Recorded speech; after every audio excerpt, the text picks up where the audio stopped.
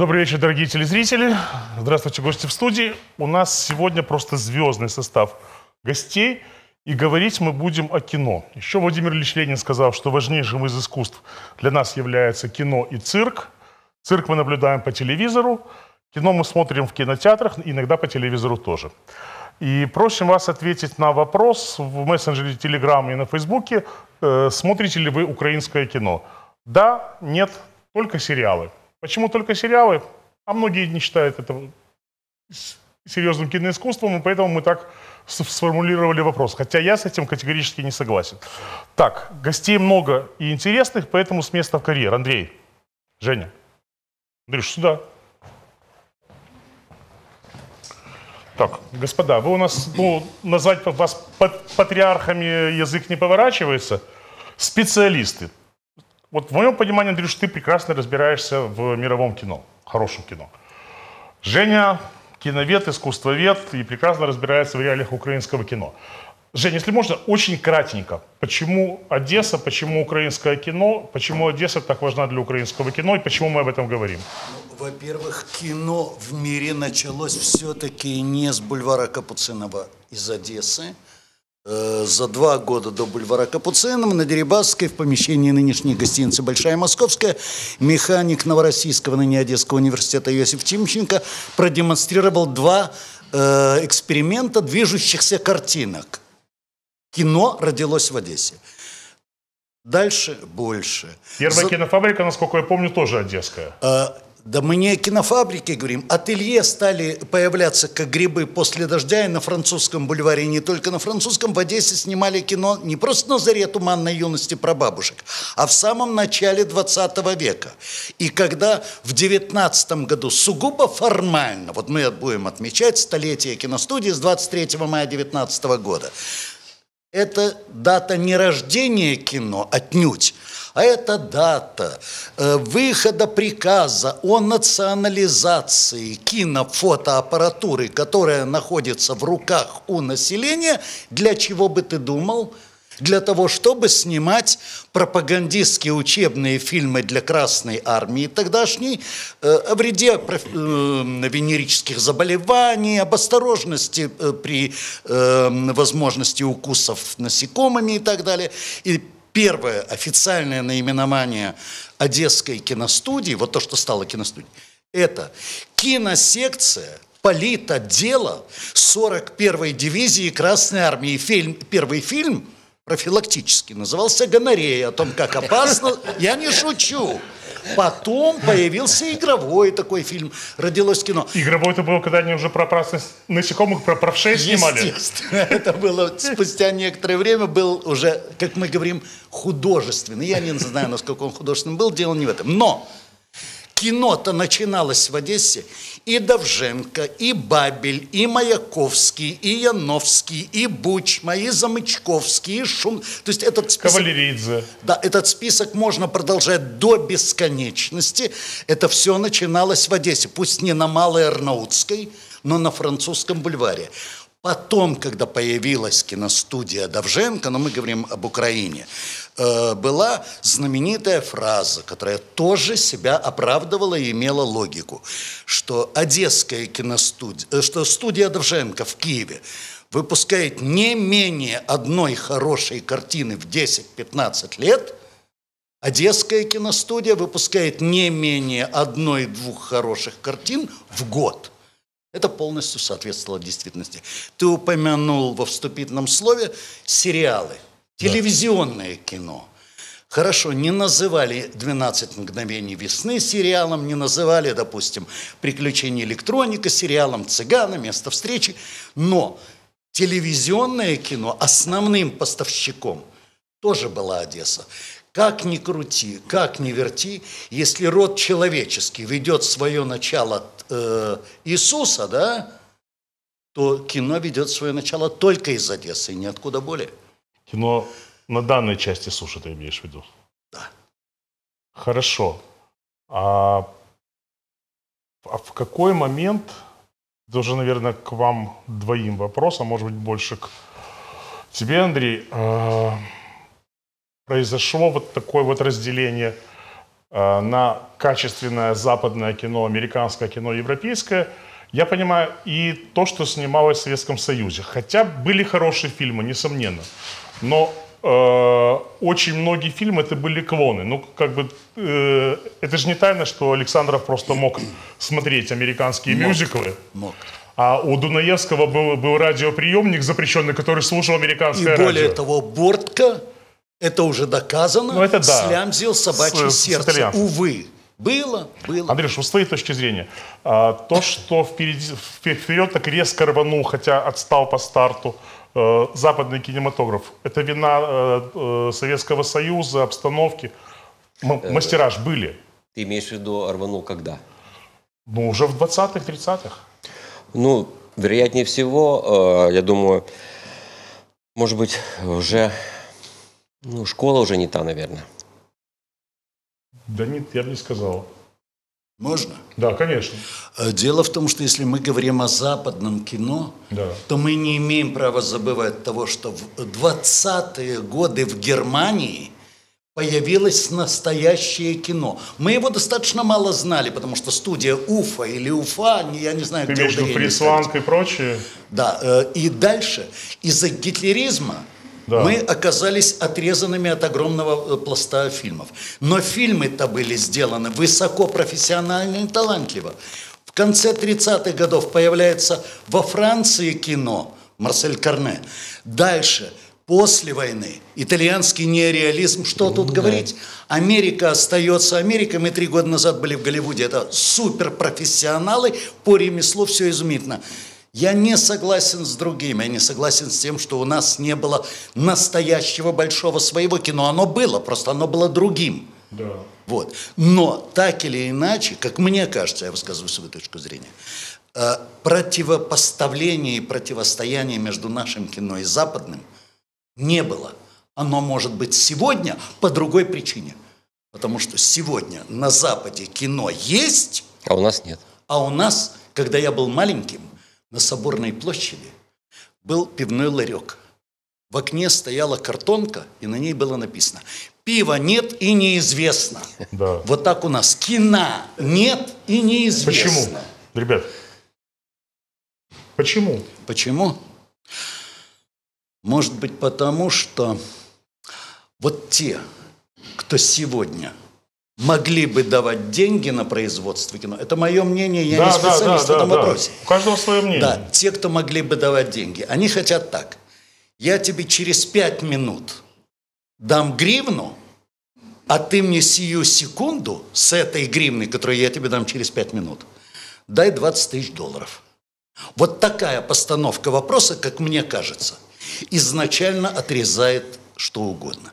И одновременно мне лично, сугубо лично мне, не внушает доверия конкретный состав тех персон, которые возглавляют структуру, отвечающую у нас за кино. Это сугубо личное мое мнение. А мне еще кажется, можно? конечно, А, Мне еще кажется, что а, а, сейчас как-то размыла ситуация профессионалов в кино. Я в свое время тоже посещал киностудию, и многие здесь работали на ней, ходил на всевозможные просмотры. Это была великолепная команда. Когда ты идешь по коридорам, там куча групп, где снималось много замечательных картин. И когда начало все разваливаться, когда киностудию как бы ну, практически закрыли, она там есть сейчас как бы так. будем Ну, так говорить. нет, считаю. Ее считают, Есть- что есть нет. Да. И, и люди вот вынуждены были уйти в разные моменты. Кого-то я видел торгующего книгами э, из э, людей, которых я знаю, профессионалов. И э, ну, пропали профессионалы, они куда-то размылись, исчезли. И нет, Их размыли. да, их просто как бы, ну, наверное, время. Андрюш, а какие вообще вот тенденции мирового кино, как, как модно говорить, тренды? Вот куда нам нужно идти, за кем? И, и надо ли идти? Вот ты Да нет, не- по-моему, нужно идти просто за, как, за своим сердцем, будем так говорить. Нужно, во-первых, создать базу обучения профессионалов. Это должны быть преподаватели, которые, ну, может быть, старой школы, которые э, научат актерскому мастерству, там, мон- монтажеру, мон- монтажу, там, операторскому искусству. Вот мой сын сейчас учится э, в Киеве на э, режиссуре кино и телевидения. Он там увлекся и операторской работой. Ну и будем надеяться, что это может быть наше будущее. Вот так. То есть тенденции мы не услышали. А кино ж поменялось совсем, ребят. А если вы обратили внимание, почему поменялось очень сильно последние три года. Э, то, о чем говорил Женя о финансировании. Если раньше э, бюджеты были у киностудий, у мощных киностудий, то сейчас бюджеты у прокатчиков. И у прокатчиков не кинотеатров, а прокатчиков сетевых. Главные деньги сейчас у HBO и Netflix.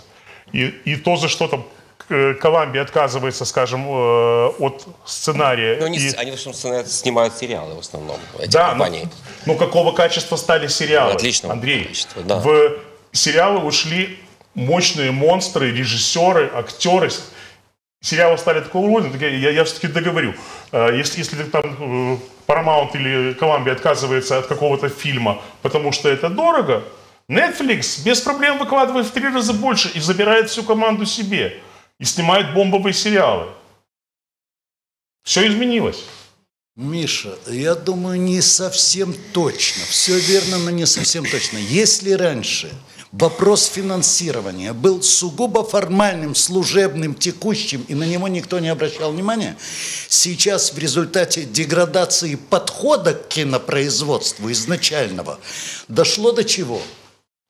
Дошло до того, что на последнем съезде Союза кинематографистов Украины в Киеве в зале с трибуны прозвучало из 500 миллионов, которые были отпущены в бюджете на кино, один миллион из 500 пошел на киностудии, то есть на кинопроизводство, остальное пошло тем людям, которые инвесторы продукции готовы делать что-то невнятное.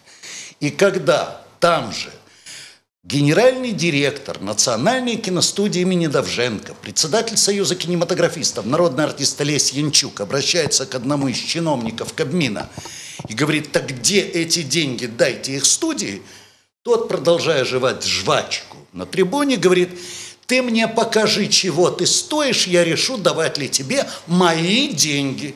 Он считает, что это его. Ну, замечательно. Юль, что ты хотел сказать? Я хотела вставить 5 копеек по поводу Netflix и э, того. У нас нет запроса э, общества на платные ресурсы. Ты понимаешь, я вот за Netflix каждый месяц плачу там 10 долларов. И так платят все. Я У нас хочу история- платить исто- за Netflix 10 долларов. Миша, но- Я не хочу заниматься пиратством. Миша- Но я не могу взять эти фильмы другим способом. Число тех людей, которые готовы платить, не критично по отношению к, к тем, кто не готов. На примере вот хорошего украинского фильма, который вот у нас был на кинофестивале «Стримголов», они продали, э, правообладатели продали э, фильм на какой-то украинский ресурс, который тоже показывает за деньги, оттуда сразу же украли, залили на торрент. Сразу, мгновенно.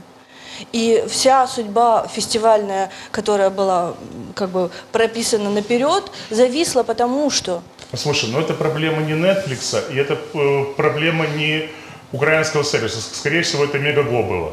Ну, я, я так думаю.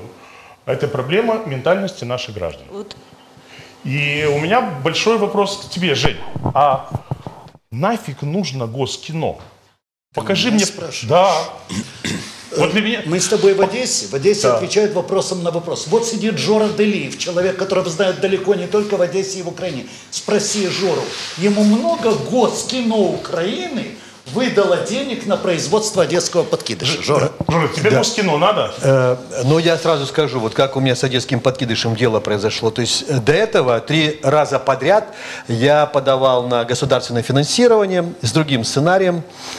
э, Заложник называется. И три раза отказывали. Причем э, мне случайно передали вот их э, ну, записки анонимные. То есть там были э, закрыты имена, кто что писал. Ну, совершенно безграмотные какие-то аннотации, вот мотивация, почему не дали деньги на кино. То есть такое ощущение, будто десятиклассник э, сочинение там, э, ну, Ну, я н- думаю, что насчет Вот. де- десятиклассника ты очень погорячился. ну, я, я так немножко завышаю планку. Э, Значит, потом, после этого, у меня одна компания этот сценарий выкупили. То есть я говорю, ну давайте я буду снимать. Они говорят, нет, мы хотим выкупить. Выкупили за довольно приличные деньги. Вот, после этого я сказал, все, я больше не буду с ними иметь дело, потому что мне даже, ну, не то, что э, там жалко денег, которые там э, надо будет отстегивать, и там в итоге для бюджета кино ос- останется там половина, да, в лучшем случае. И пот- а, было- а будет заявлена вот такая сумма. А потом же нужно будет это все на экран передать. Я махнул рукой, и э, вы знаете, да, два года назад с помощью краудфандинга собрал деньги на кино. К счастью... Это будет отдельный рассказ. Вот, вот сейчас про это не Ну, рассказывай. про Госкино, э, значит. Да. Но с другой стороны, вот смотрите, э, я сейчас был в Каннах, да, на фестивале, Сергей Лазница снял фильм. Мы там снимались, я, Наташа Бусько, мы с Наташей ездили, Миша Волошин, российские артисты, румынские, украинские. И украинский, в общем, украинское финансирование вложило довольно какую-то солидную сумму. Ну, при том, что Германия, конечно, больше вложила, потому что он ну, больше германский режиссер, да, чем украинский. Вот, поэтому я не знаю как, я не знаю этих механизмов. Вот то, о чем говорит Женя Женин, я бы, может быть, и пошел бы, сказал, ну, давайте мне деньги, ну, посмотрите там, чего я стою. Но это стоит таких усилий, что они выпьют всю кровь, я буду потом такой обесточенный, обессиленный, у меня не хватит ерунда, сил снимать у тебя кино. денег минимум процентов 40 заберут, и я тебе гарантирую. Это, так я с этого начал. Да. То есть пос- последний питчинг показал. Ребята, без проблем финансируем. Может, открываю большую тайну, но потом было сказано, что вот четыре продюсера, с которыми вы можете иметь дело. Эти продюсеры собрали киношников и сказали, ребят, все отлично, можем работать с тобой, с тобой, с тобой, с кем угодно. 40%. И они тоже поставлены в ситуацию. Это же не, они же не себе в карман забирают. А куда? Ну, не только, не только Есть себе. источник денег, который с трудом их отдает. Вот часть денег возвращается в этот источник. Там намагничено, притягиваются эти деньги обратно. Они хотят уходить, но что-то Во происходит. всяком случае, Жора, э, титула народного артиста Украины тебе явно недостаточно для того, чтобы постичь, куда идут деньги, которые до тебя не доходят. Вот и Нет, ну, все. Дело в том, что я как это чукча писатель, который читать не умеет.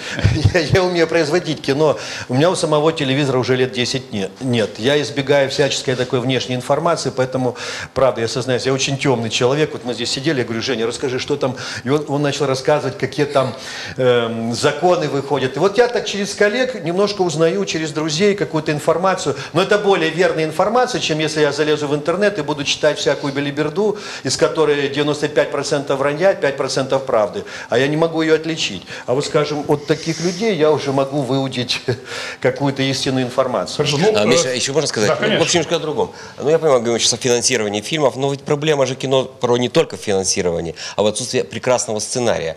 Вы же знаете, что такое кин- кино. Это три вещи. Сценарий, сценарий, сценарий.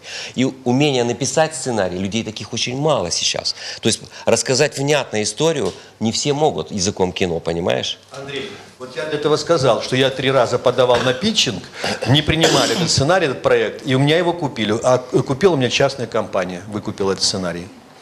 И, кстати, насчет сценариев. Вот совсем недавняя их картина «Киборги», высказываю опять-таки сугубо субъективное мнение. Да. Крепкий, профессиональный, по ремеслу, мощный сценарий Натальи Ворожби, да, и при всей моей искренней симпатии к актеру Ахтемусу и Таблаеву, никакой режиссуры Ахтемуса и Да. Таблаева. И картина проваливается. Вот у меня такое ощущение. То есть рассказать не смогли. Да.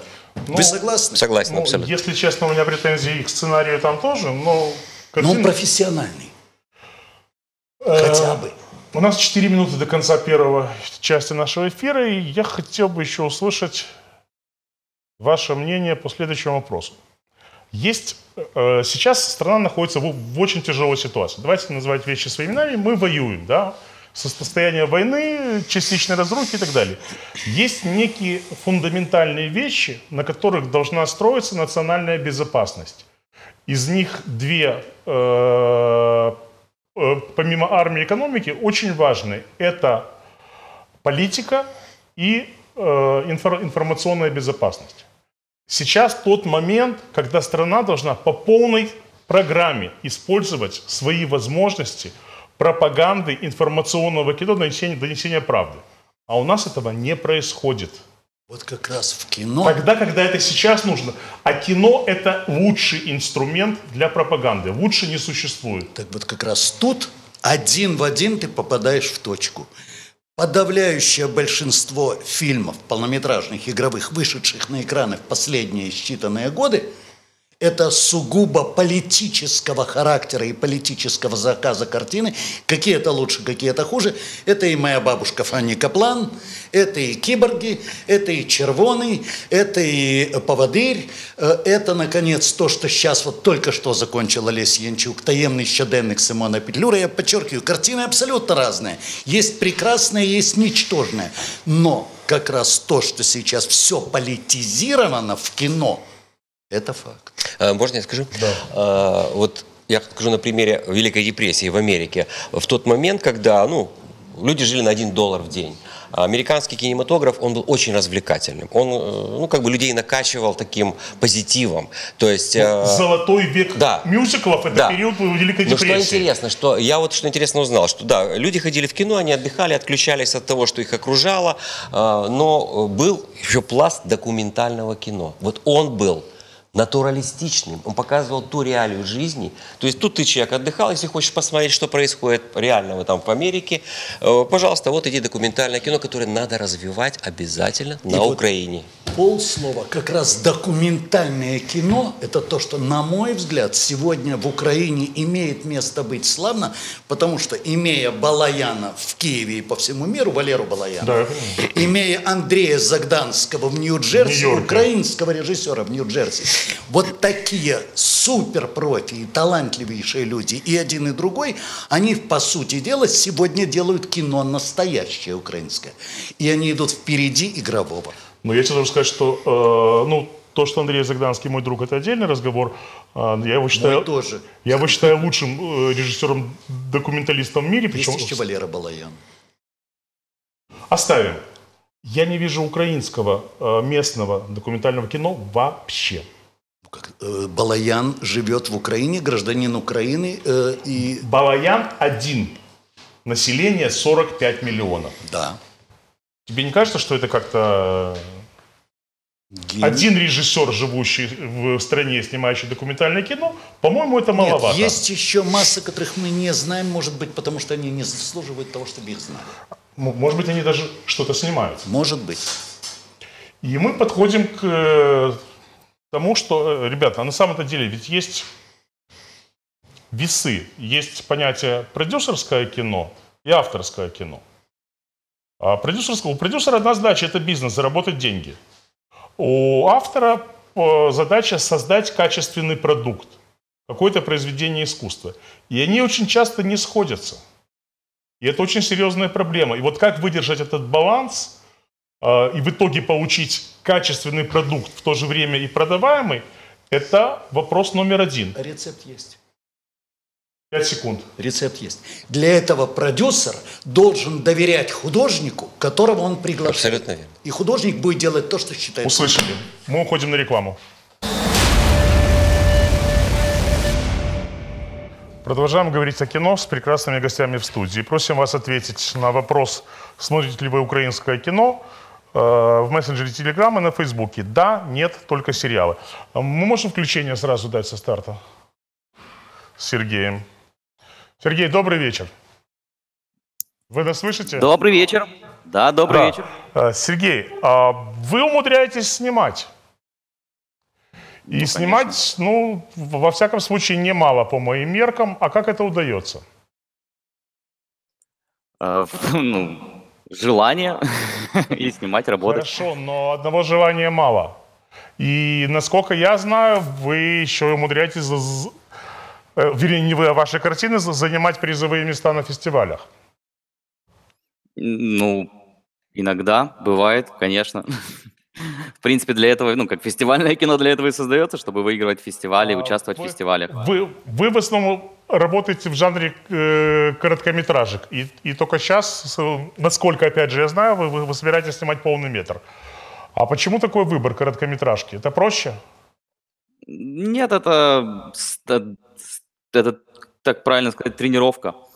Э, Ну, как бы, э, я считаю, что перед тем, как снимать полнометражные фильмы, нужно, ну, немного потренироваться, найти стиль, войти, войти в жанр, выбрать жанр. Э, Ну, большинство режиссеров мировых начинали с короткометражных фильмов. Э, хорошо. А где вы деньги берете? Вот так вот. Зарабатываю на рекламе. То есть это э, про продакт плейсмент в основном помогает?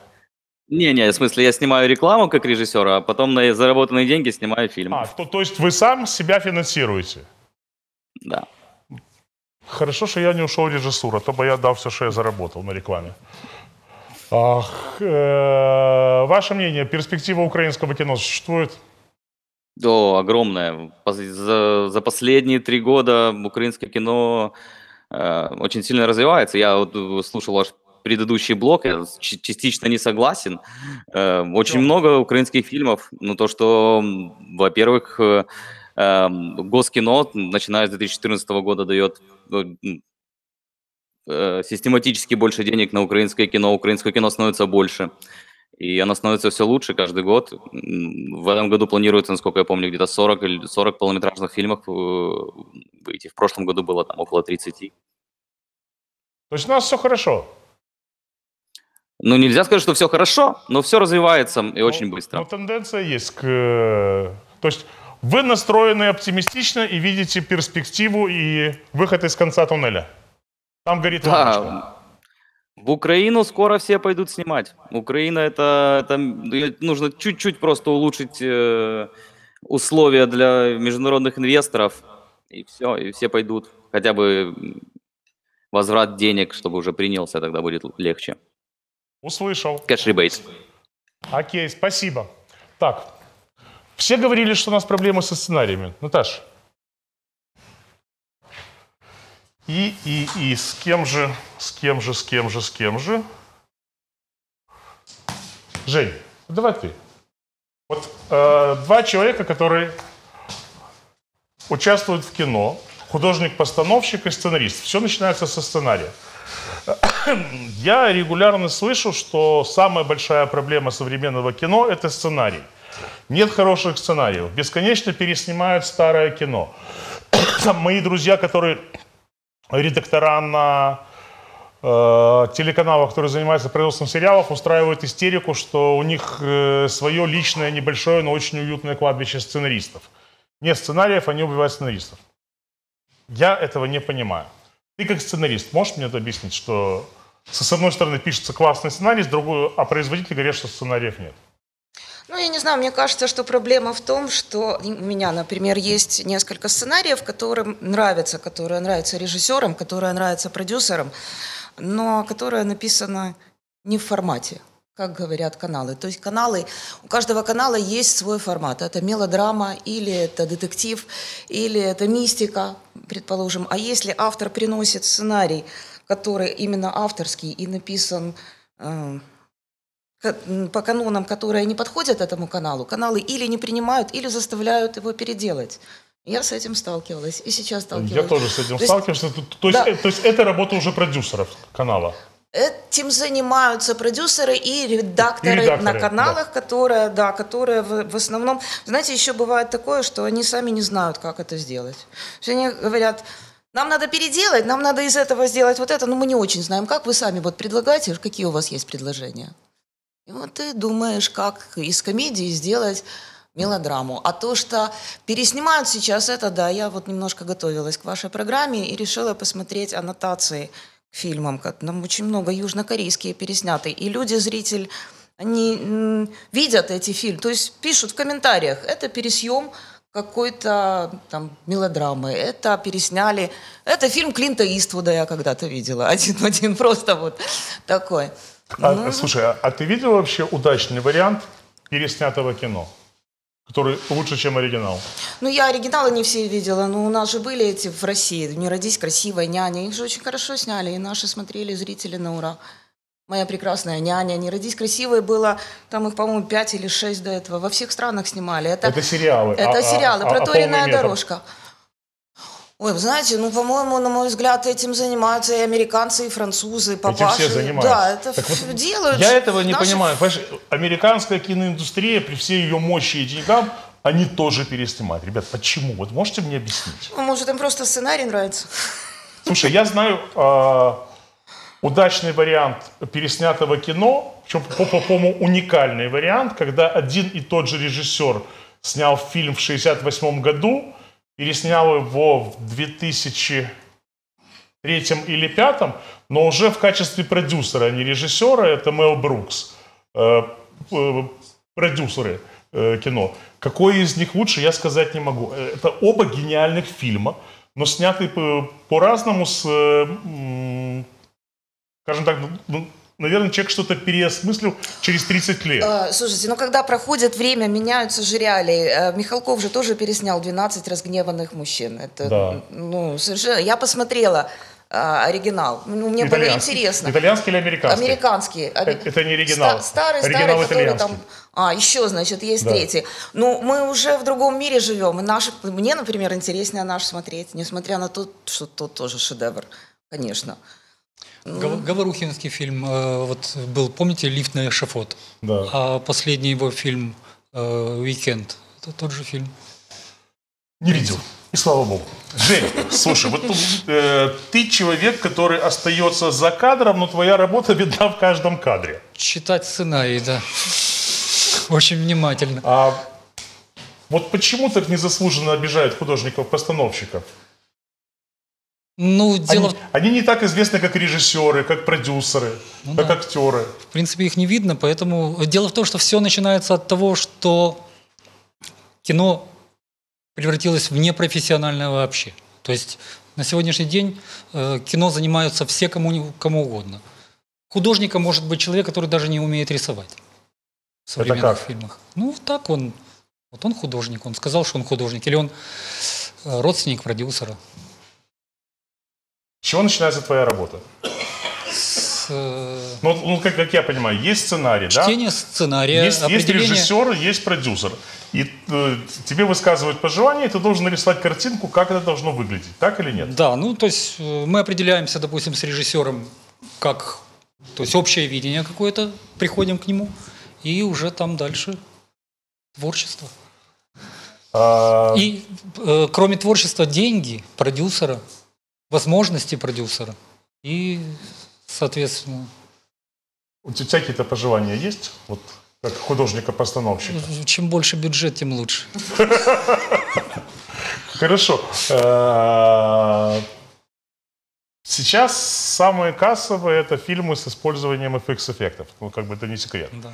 Мы на это пока, ну, не тянем вот, вот никак. Вот как бы с, с моей точки зрения, путь Украины – это э, качественное авторское кино, не очень высокобюджетное, но с э, хорошим выхлопом. Ну, вот это тот путь, по, по которому пошел в Израиль. Израиль сейчас рвет всех на международных фестивалях, у них супер кино пошло, но там, не, там нет никаких спецэффектов. Там, там все хорошо. Но вот э, последний сериал я посмотрел израильский, закончил буквально неделю назад, «Фауда». Это гениальный сериал, уже, уже второй сезон вышел. Не видите, это про, про работу с- спецслужб. Но это абсолютно реальный, жизненный сериал с блестящей игрой актеров, великолепным сценарием и супер э, режиссурой. По производству копейки, поверь мне. Ну я, ну, ну, я могу э, оценить, сколько стоит эта картинка. Э, С твоей точки зрения, у Украины такой же путь? То есть денег на блокбастеры со спецэффектами не будет? Да, думаю, что нет. Нужно готовиться к малобюджетным фильмам. Да, скорее всего. Даже, даже если... Вас не слышат, простите. Да, что вы сказали? деньги будут, спецэффектов не будет. Это точно. То есть, как бы суммы на кино есть очень большие, которые выделяются, но кино не, не отличается от э, малобюджетного Саш, ты крупнобюджетного. знаешь, я ради интереса посмотрел пару российских блокбастеров там за последние пять лет, где FX-эффектов, ну, блин. много, много и достаточно блин, ну, сильных. на да, десятку, двадцатку миллионов. это, э, да. Не, ну там, не там рублей. бюджеты, которые Украине пока не, не снятся, Да. да. очень большие. Ну, это такая полова. Но это, это просто сказочная клюква. А, и спецэффекты ногами сделанные. Ну, здесь, я думаю, даже вопрос не, не ног, потому что есть и американские фильмы, там, не знаю, «Падение Лондона», это были самые позорные спецэффекты, которые там видели за последние 10 лет.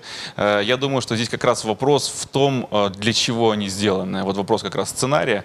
Они э, сделаны неинтересно, и они не имеют никакого смысла. Просто как бы эффект для эффекта это, это глупо. Ну, э, при, при этом я знаю минимум э, три команды в Украине, которые работают на Голливуд, которые шмаляют э, в FX-эффекты по полной программе. Я думаю, что это опять же вопрос денег. У нас, у нас просто нет денег Я на это. поэтому, э, мы говорили с Евгением Жениным о документальном кино. То есть игровое кино может, может играть в документальное кино. На этого не так нужно много денег, вот как ты говорил о израильском сериале. То есть если оно будет где-то приближено, адаптировано к жизни, э, это можно сделать очень качественно и не за большие бюджеты. Вот возвращаясь к фильму э, Сергея Лазницы. Ну, просто меня э, ну, потряс и сам фильм, э, который я посмотрел. Я не ожидал просто. Он, он же эм, режиссер-документалист изначально. И вот он воссоздал художественное кино, то есть он написал сценарий, играли актеры блестяще, все изумительно, декорация, там весь кривой рок, он три месяца это все строилось, ощущение документализма полнейшее, тотальнейшее. Значит, я таких съемочных групп огромных не видел, человек 100. Вот минимум там голландцы, немцы, поляки, румыны, э, при- прибалты, э, россияне, украинцы, то есть все, все он, он лучших из лучших собрал. Он, О каком- он вызывал... о О каком фильме мы говорим для, для телезрителей? Э, Это фильм «Донбасс» Сергея Да. Лазницы. Вот он сейчас был на Канском фестивале. Вот. Он там вызвал, я не знаю, там получит он или нет, но он вызвал эм, ажиотаж очень сильно. То есть он так взбудоражил публику. Так вот, Сергей Лазница, он, то, о чем ты говоришь, Андрей, он снимает художественный фильм, но который выглядит как документальный. И эм, бюджет там огромный. Я, я никогда, ну, много в кино снимался, видел, я никогда не видел таких огромных вот подготовок, э, бюджетов, таких огромных групп. Он вызывал артиста, вот скажем, там один съемочный день. Он вызывает в экспедицию артиста из России, из Штатов, там из Штатов один американский актер снимался, ну наш, в смысле, русскоговорящий. Эм, на два дня репетиции. Вот, значит, порепетировали, отправил. Причем все это э, не спеша вроде бы, но точно по календарному плану. Э, за месяц до Кан он еще снимал кино. И он успел э, на Канны, уже фильм был полностью смонтирован, готов, вот он э, вышел. Поэтому, но, правда, это уникальный случай. Я ну, не могу сказать, что это системно. Это Сергей Лазница, он один, он единственный. Э, Буквально полслова. Вот зашла речь о сценарии. Э, Я сейчас от начала до конца изложу сценарий полнометражного художественного фильма, который длится 10 секунд. Это реальная история. Поспорили, это исторический факт, поспорили режиссер и сценарист, может ли полнометражный художественный хорошая фильм длиться... Расскажи. Знаешь эту историю, да? Да, конечно. Режиссер говорил не может, сценарист говорил может. История выглядела так. Комната, женщина перед экраном телевизора, рука женщины на, теле- на трубке телефона. Перед ней телевизор, на телевизоре идет прямая трансляция, запуск космической ракеты, корабля космического. Обратный отсчет. 10, 9, 8, 7, 6, 5, 4, 3, 2, 1, старт. Ракета поднимается, она снимает трубку и говорит, он уле- улетел, можешь приезжать. Все. Но, но, кто был режиссер и кто был сценарист? Режиссер, который не верил в возможность такого, это Федерико Феллини, а сценарист, извините на минуточку, Танина Гуэра. Вот что такое мастера. Хорошо, ребят, спасибо вам. Я, в принципе, услышал вас. Спасибо большое. Э, Саш и вас, Джоро. Ну, во-первых, я вас поздравляю, вы сняли кино. Не так давно, что вы, что вы. Что ты, что ты. А, причем, в- я так понимаю, что способ добычи финансов у вас был абсолютно разный. У тебя получился краундфандинг практически полный. А, Ты работал своими деньгами. Частная инвестиция, да, я и партнер. Ну да, и, и да. партнеры. Ну и как оно по ощущениям вот сейчас? Ну, есть, есть разные плоды э, после того, как выходит фильм. Э, мы получили для себя, наверное, очень важный, очень серьезный плод в прокате. Э, когда твой фильм появляется, э, и ты понимаешь, что он понравился зрителям, как, как это можно понять? Можно там почитать комментарии. Много плохих, много хороших, они бывают разные. Но в кино есть простой критерий. Э, Если на второй неделе проката идет падение больше, чем на 50%, фильм не понравился. То есть э, сарафан не пошел, люди говорят, кино плохое, ребята, не приходите. Если меньше, тогда фильм хороший, сарафан был хороший, все получилось. Э, В нашем случае сарафан был даже меньше, чем 20%. То есть падение второй недели проката было меньше, чем на 20%. То есть я понимаю, что могут быть разные разговоры, могут быть продюсеры, режиссеры и так далее, но зритель фильм принял, ему зашло, и это для нас, наверное, было самое главное. Ты будешь продолжать? Конечно, обязательно. Продолжать и продолжать в Украине. Мне, мне понравилось э, нашего э, настроения гостя в онлайне э, о том, что э, у Украины есть шансы, и кино будет развиваться. Э, конечно же, будет. Вопрос, насколько быстро и насколько это будет по кочкам. На сегодняшний момент э, у нас есть возможность э, быстро вырасти, но э, помогут ли этому росту или помешают, вот это вопрос. Ну, мне еще рано судить. Но моя ошибка заключается в том, что я на фильм деньги собрал, а вот на промоушен э, э, Да, это, конечно, не было. И, первое, короче, я вот сейчас столкнулся да. с этим. И сейчас, начиная вдогонку, быстро там вкладывать все, что у меня тебе есть. легко его Я- продвигать в Одессе. Это спектакль, который знает одесский Нет, автор, нет. одесский спектакль. Нет, нет. Одесситы пойдут, нет? Нет, у меня как раз таки Киев лидирует. То есть Киев пошел, потому что Киев... Дело в том, что я пошел, э, я не стал Ребят, работать я ничего не понимаю. Вот, странно, реально. да. Ну, я также не понимаю, то есть для меня это, э, как бы, ну, не знаю, я первый раз иду по этой дорожке. То есть я снимал кино до этого много раз, да, но как бы там все было понятно. Вот есть продюсер, есть, ну, все было понятно, куда оно, чего, и дальше кино жило своей жизнью. Вот. А здесь э, я полностью отвечаю ну, за все, то есть хозяин-барин. И э, скажем, то, что я не стал работать с дистрибьюторами, а я просто с ними не, не смог договориться. И решил э, работать самокатом, то есть договариваться с кинотеатрами отдельно. Это очень сложно. То есть я сейчас понимаю, какой на себя гембель взвалил. Э, И, скажем, вот если я Одессу немножко потерял уже, потому что я работал только с кинотеатром «Золотой дюк», с остальными, ну, просто не успел. А Киев уже охватил там около, по-моему, 8 кинотеатров. Э, Вот, я уже там сейчас бигборды повесил и как-то так начал окучивать Киев. И, в общем, так вроде бы, ну, не Жор, будем а- забегать вперед. А чего не получилось с прокатчиками? С, С дистрибьюторами? Да. А я с ним, я э, как будто, я говорю с ними на разных языках. То есть там я начал с UFD, там, с- ну, с такими с крупными. Они говорят, нет, это не наш формат, у нас там все это занято. Э, Артхаус трафик, Денис. Э, Денис говорит, у меня там столько картин, он как раз был этим Донбассом занят. Э, Он говорит, я бы рад взять, говорит, да. Причем все э, эти дистрибьюторы, фильм классный, говорит, очень хорошо, но нам надо, чтобы фильм был молодежный, у тебя очень взрослая аудитория. Я говорю, так вы поймите, человек, которому 30-35 лет, 50 лет, он уже имеет деньги, он может пойти в кинотеатр и заплатить там 100 гривен, купить попкорн, э, жене, там, семье э, гораздо легче, чем, скажем, 18-летний, 16-летний подросток. Что взрослые люди не ходят в кино не потому, что они не любят кино, потому что для них не снимают фильмов таких. В основном идет кино молодежное. Или они просто не любят ходить в кино, как я, например. Нет, они, они любят ходить в кино. Я не люблю. Да? Ну так, а я люблю ходить, и я знаю многие, которые... Но, но я не могу пойти э, в кино, то есть там нет таких фильмов, от которого бы я получил удовольствие. Это очень редко. Там есть мультики классные. Ну, Мультики да, отличные. мультики с, с детками можно. Э, Но мы немножко отвлеклись. В общем, и мне сам Денис Иванов говорит, так, говорит, понимаешь, никто не будет любить из дистрибьюторов так твое кино, как э, сам создатель. Вот. И еще несколько людей сказали, так занимайся самокатом, ты найдешь э, кинотеатры. И я так вот потихоньку начал, я вижу, что просто находятся лояльные кинотеатры, которые да, мы возьмем с удовольствием. И есть кинотеатры, которые, ну это в основном такие сетевые большие, говорят, нет, нет, нет, у нас там своя программа. Вот. В общем, я сейчас просто первопроходец, я не могу сказать никаких э, Цифр. Да, цифр, ничего, потому что, ну, как бы я сейчас э, бьюсь лбом об стенку, которую сам себе выстроил. Но я же этого не знал, я изучаю таким образом жизнь.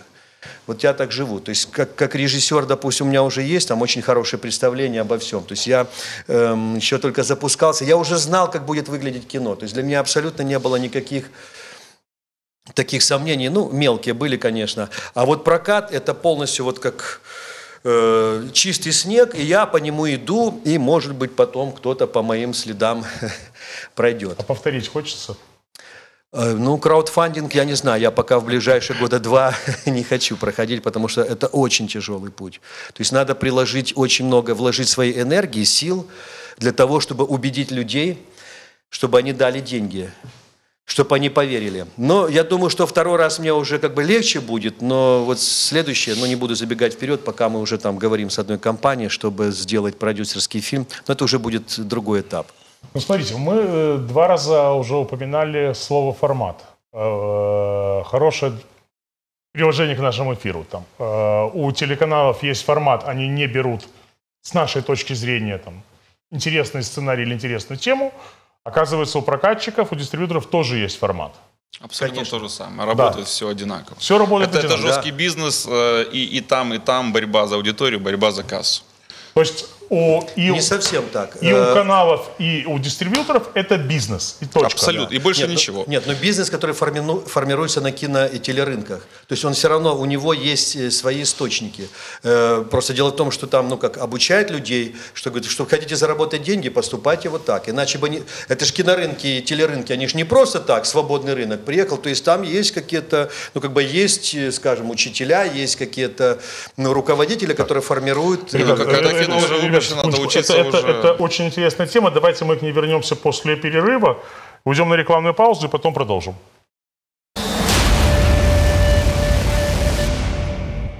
А мы не уходили отсюда, в общем-то говоря, продолжали разговаривать. Я прервал тебя. О чем мы говорили? А, я говорил о том, что все равно существуют руководители. Ну, естественно, ведь э, кино и телевидение – это очень мощный источник воздействия, вот то, о чем ты говорил, да. Поэтому, как, ну, это во все времена было, всегда. Это было и до кино, до телевидения всегда. Да Жор, в любой зна- компании, если Жор, человек знаешь, хочет у меня руководить... существует э, легкое подозрение, переходящее в уверенность, что зачастую и прокатчики, и телеканалы, утверждая, что их аудитория именно такая, на самом деле эту аудиторию формируют. Они делают то, что им удобно Я об или этом и говорю. выгодно. Конечно, Да. именно так. То есть не, не то, что этот телеканал см- смотрят только ипохондрики, которым надо рыдать. Нет, они делают лишь Да, людей да, ипохондриков. А, а- а невозможно проверить вкус. Вот у меня, кстати, был спор, ну, давно еще там с одним продюсером я говорил, он говорит, понимаешь, я вот знаю свою аудиторию, вот какое кино надо снимать, какие телепередачи. Говорю, как ты знаешь, как ты можешь знать? Он говорит, у меня есть фокус-группа, которая там учились где-то в Лондоне, они вот обучались, и они знают вот как... Я говорю, а как они могут знать? Говорю, я вот работаю там каждый день в Извини, театре. и извини я пере- знаю- перебью. Поверь старому рекламисту. Большего обмана, чем фокус-группа и развод заказчика, не существует. Так я ж к этому клоню. Оно не работает вообще. я ж и Фокус-группа нужна для того, чтобы вытянуть максимум бабла из заказчика. Больше ни для чего. Я вот к этому и клоню, что говорю, даже я вот имея опыт, ну, работая с аудиторией, да, там два-три раза в неделю, э, ну, вот играя спектакли свои, могу как-то понимать, чем дышат э, люди, да, так в основной массе. И то я не берусь судить, а получится это, будет ли это смешно, будет ли это интересно. То есть всегда это эксперимент. А как они могут решать? Поэтому я абсолютно уверен, что вот если показывать там э, 10, 20, 100 раз одно и то же, люди привыкают, они начинают считать, что что это хорошо, особенно если авторитетные люди начинают утверждать, да, это хорошо, вот смотрите, это 80% людей э, верят, а это вот- Убеждаемые, да. конечно. Вот, а остальные уже там подтягиваются автоматически. И что с немножко, этим делать? немножко кино и телевидение, они, они разнятся. Если у телевизора есть определенный формат у конкретного канала, то э, в кино это, наверное, ну, совсем чистый-чистый бизнес, потому что прокатчику его мало интересует э, аудитория, ему нужно привлечь людей в кинотеатр. А кинотеатру нужно, чтобы его зал был заполнен, чтобы каждое место, оно не было пустым. Они тратят деньги на свет, на аренду и так далее. Если у них есть риск зал не заполнить, они сразу отворачиваются, они сразу фыркают, они говорят, нет, нет, нет, потому что у них есть, э, ну, грубо говоря, как в магазине, можно поставить, есть классный товар, который покупают всегда, есть товар непроверенный, непонятный, такой, как украинское кино. И как, ну, мы можем поставить, но здесь же можно Head and Shoulders по- поставить, он будет продаваться од- однозначно и гарантированно. Поэтому э, блокбастеры деньги приносят, э, американские. Логично, Не украинские, не приносят. Потому что их рекламируют. То есть чем больше рекламы, тем больше людей ходит. Вот и все. Одно кино это маркетинг, маркетинг на 100%. И вопрос привычки тоже. То есть на это надо идти. Вот смотрите, вот, ну, сейчас опять возвращаюсь к Сергею Лазнице, просто очень, ну, такой животрепещущий э, пример. Он мне просто потряс. Вот, ну, до этого э, другой проект, э, сериал «Одесский сувенир», я там снимался. Э, великолепный режиссер Олег Туранский, очень тонко работает, он, э, ну, актеру может объяснить задачу.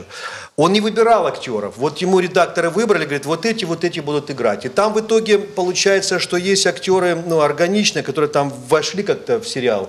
Я знаю одного Володя Емненко, он хотел играть там одну роль. Его уже начали утверждать, и он так хотел играть эту роль. Он говорит, нет, вы будете играть там этого полицейского. он вообще хотел Жора, бросить, по- хотел по- уйти. По поводу этого сериала я вообще э, буду молчать. Я не умею разговаривать, э, вернее, я умею разговаривать, но в эфире так разговаривать нельзя.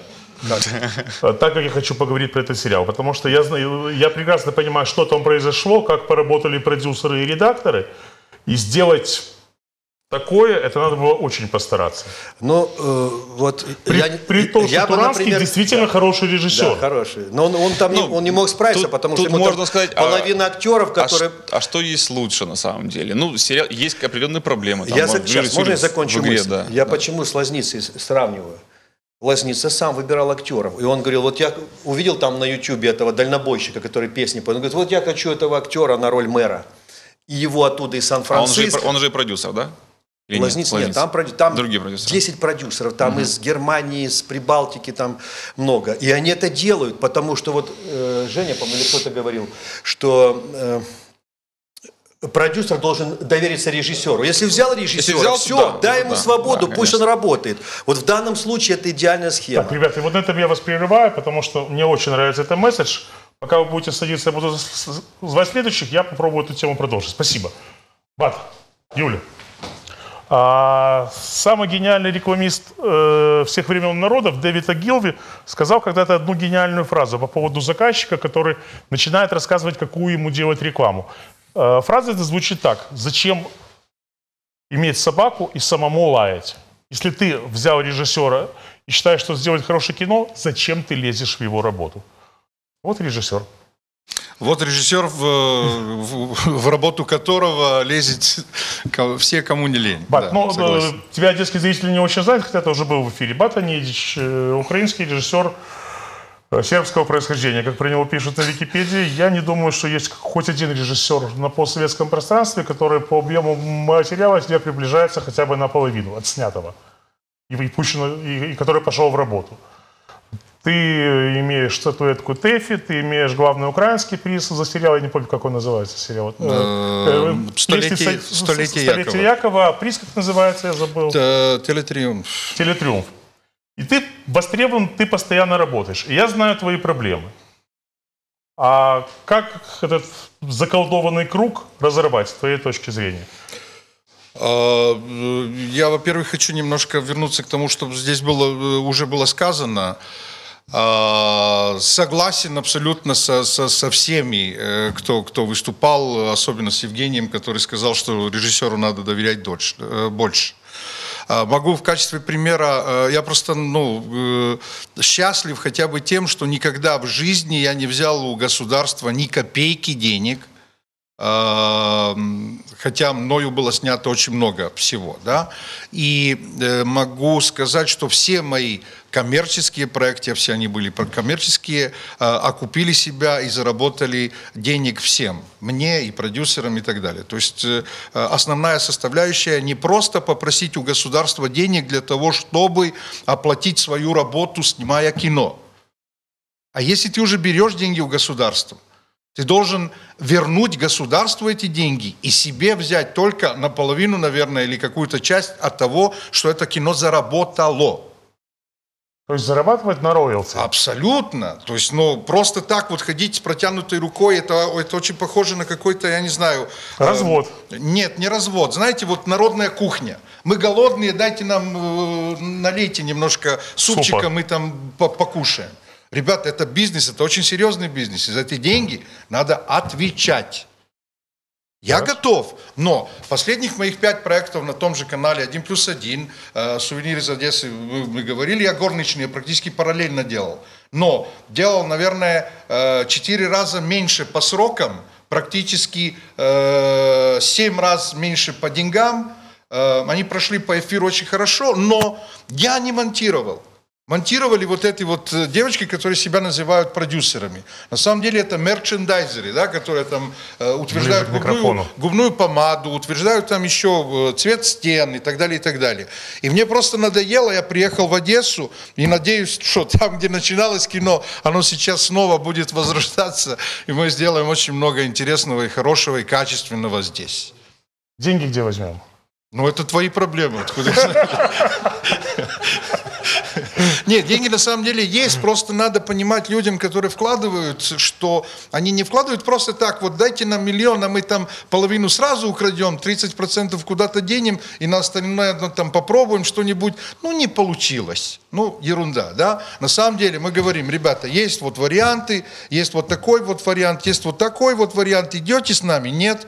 Давайте тогда будем уже, а мы же будем раз- разговаривать и с англичанами, и с немцами, и так далее, и так далее. Но я готов брать на себя ответственность за качество продукта и за эти деньги, которые мы точно э, будем, будем находить под кино.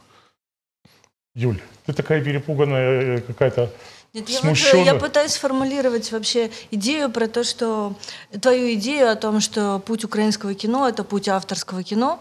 Э, Практика показывает, что авторское кино большинству нашего населения неинтересно. И я вот подумала о другой мысли, которую ты э, кто-то высказал, я прошу прощения, теряюсь, о том, что э, телевизор воспитывает, да? Это, Э, я- это опять вот, же я да, сказал. Да. И вот мне кажется, я никогда не думала, что я произнесу эти слова, но мне кажется, что государство должно как-то э, сориентировать телевизор, чтобы оно начало по чуть-чуть воспитывать вкус э, зрителя, вот, возвращать от этого всего, от мыла и э, какому-то качеству. Потому что, тебе- да. можно, потому что есть какая-то группа людей, которая занимается самообразованием и которая смотрит хорошее кино. А сейчас хорошее украинское кино есть, оно появилось. Э, Последний Одесский кинофестиваль был тому примером. Украинская программа прекрасная. Я сейчас летела из Нью-Йорка в, Оде- э, в Киев. Было э, в, в этом телевизоре два фильма, которые я видела там, и я сидела их смотрела, хотя у меня был полный голливудский набор, понимаешь? Я тебя что хотел спросить, дорогая моя. Ты уже американка, да? Ты уже живешь в Нью-Йорке.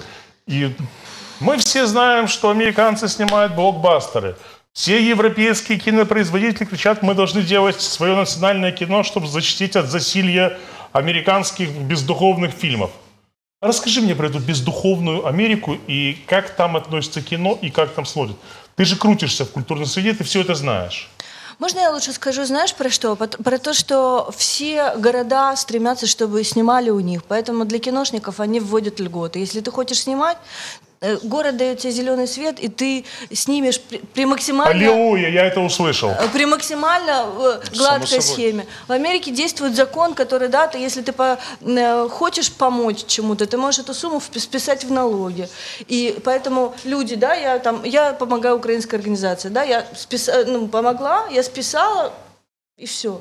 То есть вот, вот этого нам очень не хватает. И, конечно, ко- э, ну, Я открою не очень большую тайну, если скажу, что э, ну, в 300 раз я это повторю, что пока в город, в город Одесса не будет известен и популярен во всем мире, причем известен э, не красивыми девушками и э, ресторанами с вкусной едой, а известен как культурный город, и о нем будут говорить на телеканалах, в фильмах будут видеть улицы Одессы, Одесс, э, одесситов, одесские истории, сюда деньги не пойдут. Миш, ну ты понимаешь, что это связано с тем, что должна сохраняться архитектура в том виде, в котором она есть. Без пластиковых окон, без кондиционеров в, Я домах. всё и это всё. прекрасно То понимаю. есть сейчас Одесса для кино, когда люди выбирают локации, они плачут кровью. Слушай, вот у нас есть... Сейчас, секундочку. Вот у нас есть человек, э, который приехал в Одессу год назад и почему-то решил остаться в Одессе. И у тебя были проблемы с вакацией. Мы с тобой об этом говорили. Есть в Одессе вакации? В Одессе есть шикарные, шикарные локации, наоборот, их в Киеве уже нет.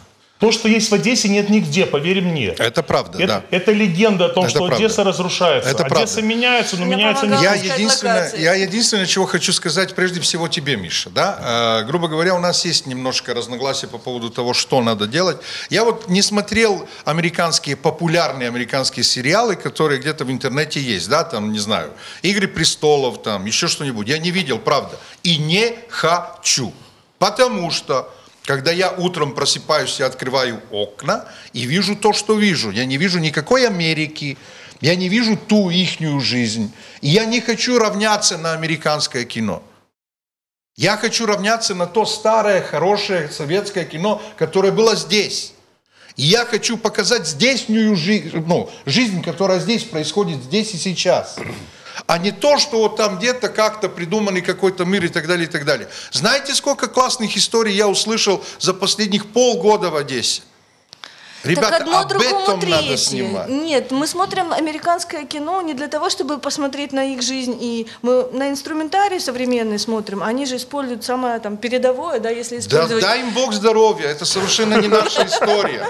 Я никогда в жизни себе не позволю снимать вот это вот детское кино, потому что я его не понимаю. Все эти блокбастеры, это для детей 12-14 лет. Но есть же не блокбастеры. И тем Есть. более, если мы говорим о Послушайте, есть такое классное европейское кино середины 70-х, 80-х годов. Очень классное. Ни одного спецэффекта. Но там есть душа и энергетика. Почему нужно выбирать? Почему нельзя смотреть и то, и то? Я не могу понять. Да, ради бога, смотрите сколько хотите. Хотел- Просто не призывайте меня снимать там американские блокбастеры. Этого делать не Что, надо. что, Андрюш? Я, я бы хотел сказать о воспитании вкуса и об одном чудесном фестивале, которым занимается моя супруга и Иван Козленко из Киева. Это фестиваль «Немые ночи». Это как раз э, мы будем говорить о каких-то традиционных старых Андрюша, фильмах. меня за рекламу кончат, блин. Да. Неоплаченную. Извини, Миша. Этот фестиваль вернулся в Одессу, он будет э, э, в Зеленом театре. Мы можем увидеть старое кино, э, черно-белое кино, восстановленное, украинское кино и не только. И будет современная музыка, это будет крайне интересно и для молодежи, и не только. Сейчас я порекламирую фестиваль, на котором работаю я. Так, и все, я могу увольняться, да. Спасибо, ребята. Не-не-не, нет, нет, нет. Тут, тут- Я просто- тут- тут я- у я каждого просто- есть свой фестиваль. Я хочу всех вернуть на грешную землю и сказать вот что. Э, Если мы будем говорить о том, что вот мы будем делать как, или будем делать лучше чем, и так далее, и так далее. Ребята, есть свой путь. Им надо идти. Понимаете, Киев начал зацикливаться. Почему я приехал сюда, я вам расскажу. Да? Я сижу, смотрю свой какой-то очередной шедевр э, сериальный под названием э, «Хозяйка». Выходит э, старший баклан из машины и заходит в дом. Так стоит дом, нормальный, классный дом. Он заходит, камера отъезжает назад, в этот момент начинается рекламная пауза. Я переключаюсь на другой канал, а там из этого же дома баклан выходит в другом сериале. Практически в той же одежде. Там уже не осталось мест, где это можно снимать. Ну, в Киеве, по крайней мере. Если кто-то услышит, а можно мы у вас поснимаем, люди хватаются за голову, за голову 50 человек растопчите мне все, не, не надо. Причем за 3 копейки, да, потому что э, денег-то нет. Я, можно я перебью? Жители Нью-Йорка тоже ненавидят, когда кто-то рядом снимает. Это город приветствует. А если э, у меня в квартале снимают, это значит, что не запаркуешься в районе там трех километров. Я понимаю, но в Одессе Ненавижу. очень много интересных и вокруг, не только, не, не только в Одессе. Извините, на, на- на секундочку, моя родная Сербия чуть меньше, чем Одесская область. Ну, реально, да? да. Тут очень много даже городов интересных, со своей интересной архитектурой. Сколько хороших артистов в городе Одессе, про которых никто не знает. Я вот сейчас ставлю спектакль, можно рекламу? Можно, можно. Тебе, тебе можно. В украинском театре ставлю, В русском. ставлю, э, в русском, извините, в русском, в русском театре в Одессе ставлю спектакль. Шикарные артисты, я просто не знал, что они такие, с такой классной энергетикой. Я знал двух человек, правда, да, но не думал, что они так хорошо, классно работают, об этом никто не знает. Операторы какие, вот сейчас за кадром здесь стоят люди, которые могут сделать такие шедевры, мы их просто не видим, но поверьте мне на слово и поверьте людям. Это, это люди, которые 10, 15, 20 лет назад снимали такие классные фильмы. Понимаете? Ну вот, я, я об этом говорю. Этот потенциал грех не, не использовать и не делать. Тем более, что кино, как мы знаем, уже э, началось именно в Одессе, не, не где, не Так, в и другом. месте. попытаемся подводить, начать подводить. Что у нас голосовалка показала, студия? Э, Телеграм э, нет, не смотрит украинское кино 50%, да 39%, и только сериалы 11%. На Фейсбуке да 48, нет 52, соответственно. У нас осталось полторы минуты, надо подводить итоги. Э, Ребят, что я вам скажу? Бата абсолютно прав. В Одессе нужно снимать кино, делать кино про Одессу. Одесса это тот город, с которого начнется рывок возрождения украинского кино. Потенциал огромный, люди есть, нужно немножко воли, желания и желания не только нашего, те, кто делает кино, а тех, кто хочет помочь кино. Нужно желание городских властей, областных властей. Ребята, не нужно от вас денег. Найдутся люди, которые дадут деньги на кино. Поверьте мне. От вас нужно желание пропагандировать этот город. Посмотрите на сериалы, те же американские. Где они снимаются? Нью-Йорк, Лос-Анджелес и Сан-Франциско. Я улицы Сан-Франциско знаю лучше, чем улицы Одессы. Город узнаваем, и в него хотят приехать, когда его видят в кино. Да. Люди, персонажи, э, там, присной памяти сувенир из Одессы и ликвидация – это не Одесса, это шарш на Одессу. Одесса на самом деле совсем другая. Здесь иначе говорят, здесь иначе думают. И создать фильм про Одессу могут только те, кто здесь живут. Я не сомневаюсь ни одной секунды, буду делать все для того, чтобы Одесса стартанула и показала всем, как можно и нужно делать кино. Большое всем спасибо за эфир. Гости были великолепные. Спасибо всем.